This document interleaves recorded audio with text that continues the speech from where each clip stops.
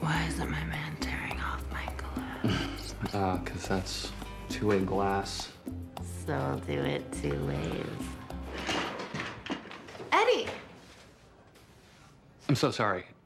I promise. Let me let me go arrest this guy, and then later I'll I'll do that thing.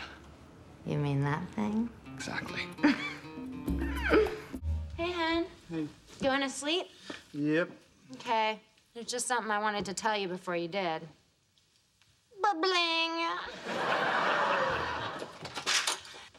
I need to punch your husband in the throat. Eddie, it's for you! What the hell is wrong with you? My husband is lying in bed heartbroken because of your thoughtlessness. I am wearing very sexy lingerie under this robe, and the only thing he can think about is you.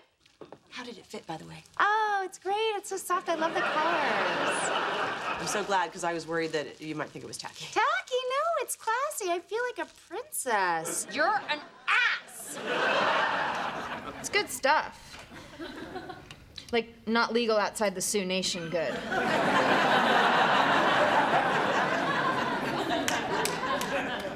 It'll bend your head, man.